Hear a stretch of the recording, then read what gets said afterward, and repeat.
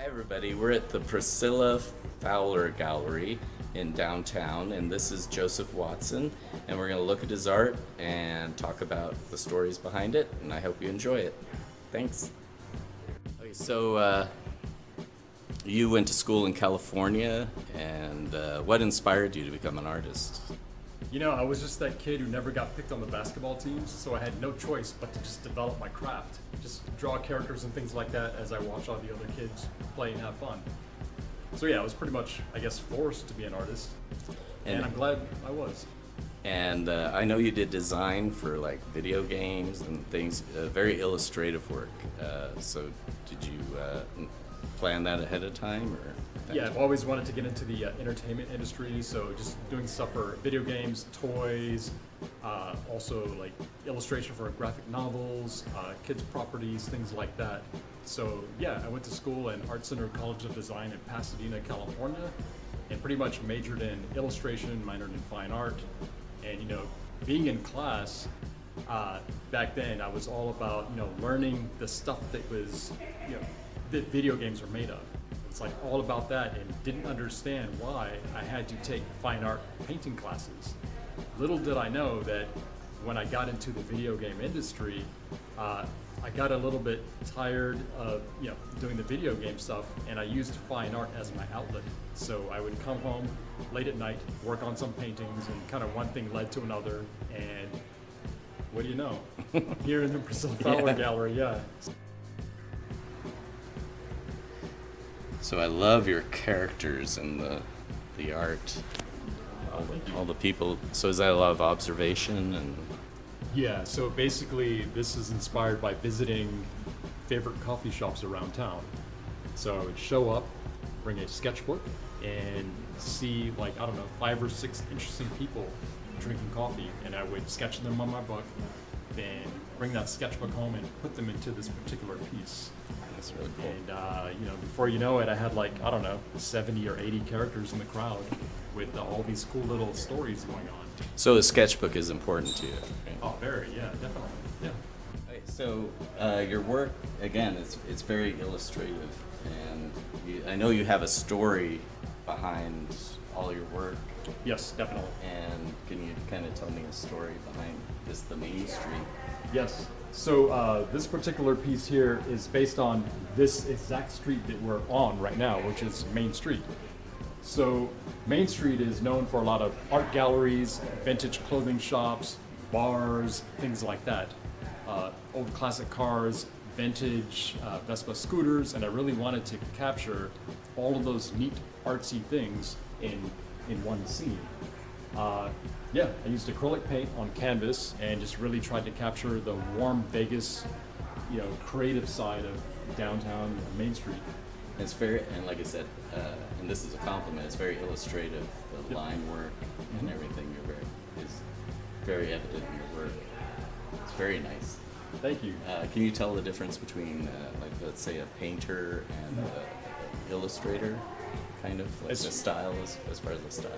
Yeah, so, uh, well, back, like I would say, like 20 years ago, there was a uh, pretty big difference, in my opinion, between more of the illustration style and the fine art style. But over time, they kind of merged together, where you know almost anything be, could become an illustration, no Oh. matter what the medium is. You know, I remember back like 20 years ago, like folk art was a big influence in Oh. illustration. Also, you know, anything like cutout paper, uh, photography of sculptures, all these things could be illustrations, you know, because they tell stories. Uh, my stuff, however, yeah, it's kind of like a mix between both. I like to use a lot of the painterly. Oh yeah, I really going love on. the faded background. Oh yeah, because you know I don't want the eye to focus on these areas, so I tend to leave it very loose. And it's very, if you see this, the it's it's very painterly, but there's very definite areas where he's done the like line drawings in it. It's really neat. especially these two characters. So uh, this lady here, my signature big blue lady, she would be in blue if I you know, worked Yeah. on her more. But she's just like graffiti line work, and she's flirting with this guy over here. So he's another street art sort of character. So, you know, he has this little card up, and he's showing it to her. So they live on these walls. Oh, walls, so it's like a it's a love story between the signage. on Main Street. Yes. Yeah, that's great.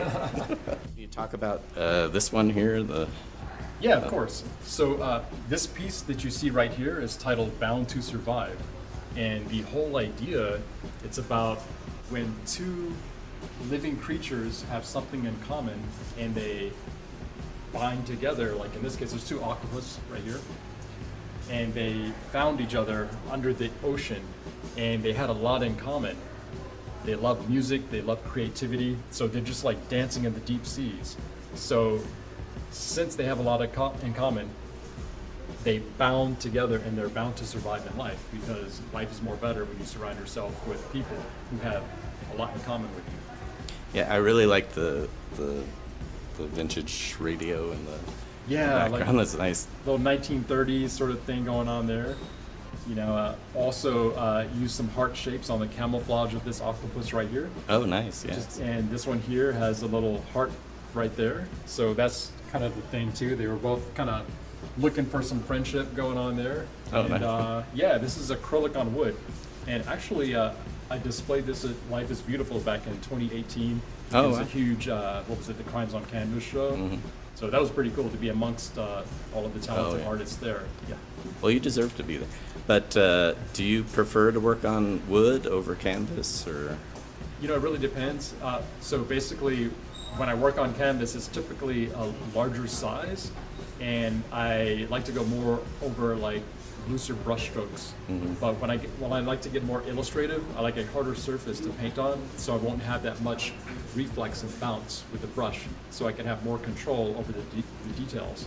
Oh. Also with can- canvas, you have the interwoven sort of uh, patterns on it, so that doesn't allow me to get, in some cases, uh, you know, the detail that I want. Yeah. So it really depends what where I want to go. So this one's on wood. I was able to get more details and things like that, more control over the bounce of the surface, and the other pieces are acrylic on canvas because I wanted to go a little more looser and expressive.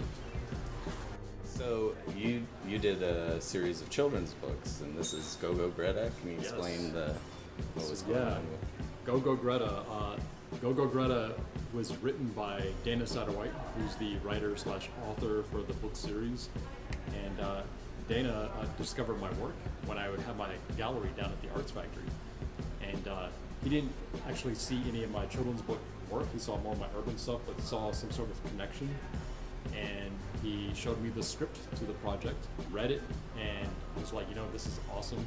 I would love to work on these uh, children's book projects. So yeah, we uh, we did three children's books, uh, book one, two, and three. This is from book number three. And Go Go Greta, yeah, she just goes about her life achieving the impossible. And you know, the whole thing is we want kids to really believe that they can do anything in life. If Greta can do it, you can do it as well. Yeah. So these are some of the characters from my latest book, my newest book actually uh, worked on with uh, Joe Frazette. So I hopped on as illustrator, and there's going to be uh, five books in the series. So this is from book number one, and this just came out about I would say like two weeks ago. And in the next couple of days, I'm starting on book number two for this particular book, and it's all about using the power of intuition. Uh, this first book. So uh, yeah, kids can tap into that inner power and unlock, uh, you know, that power to do anything they want to do. Also, Nice. And you did this uh, all uh, as a painting. Any of it? Did you do any of it on uh, the computer at all? all of it. You did all of it on computer. Right. Oh, Yeah, yeah, nice. yeah. Okay. I even have like a time lapse of these. Where have you used uh, Procreate No, no, for uh, iPad? no, no. Oh, okay. I have a very old iPad, so. Yeah. Uh, let me see if I can do But- a time lapse on this. Because I tell students it's important to learn traditional art first before you start doing digital. Oh, Do yeah, you agree yeah. with that? That's- Totally. Yes. Yes. So Uh, here's yeah. kind of a walkthrough right here of How you? Oh, it's you actually drawing there. Yeah. So I imported in uh, an approved uh, quick color mock-up that I did for my client, Joe Frazette. And after that, you could see me switch back and forth with the words on the pictures and also the characters too, because I like to check to see how well the the images are working with the, the words because you know it's illustrating a story. Yeah. Um, so you'll see uh, what I did first was a character lineup. So that includes all the characters in the story. And what happens is occasionally I'll show the character lineup on the screen as I'm rendering along because I want to make sure all of my characters are on model to make sure they're accurate. Oh. Yeah. And uh, since this is a book, you'll see the template pop up every so often because you want to make sure the characters aren't being cropped off or falling into the, the gutter, you know, the centerfold. of Yeah, the I always page. have to tell the students keep Yeah. things away from the like Exactly. quarter inch around the outside, otherwise Yep. you'll get cut off. So, the so the shirt is uh, your design, right? Yes, Cycle of Life. And Very if you look at the bike real close, it has two flat tires because, you know, sometimes in life it's uh, almost like riding a bike with two pl- two flat tires. But you know what? You got to keep pedaling. yeah, you got to keep pedaling. Great.